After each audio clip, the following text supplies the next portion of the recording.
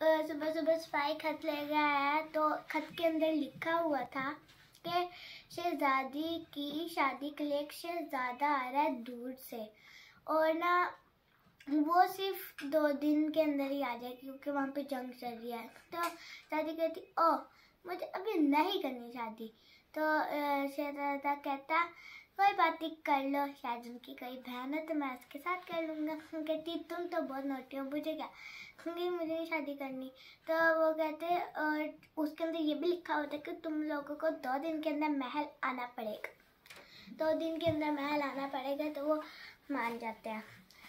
वो जब महल आते हैं तो जब वो जंगल में रह रहे होते हैं ना तो एक चुड़ैल होती है। उसका जो भाई होता है, वो जादूगर होता है।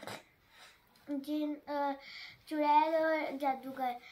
वो अपने आप को, जो चुड़ैल थी ना रात को, सबसे खूबसूरत अपने आप को मानती थी। लेकिन थी नहीं। उसने ना एक बार जब वो खड़े थे ना नदी के पास, वो लोग तैर के गए थे ना अपने महल की तरफ़।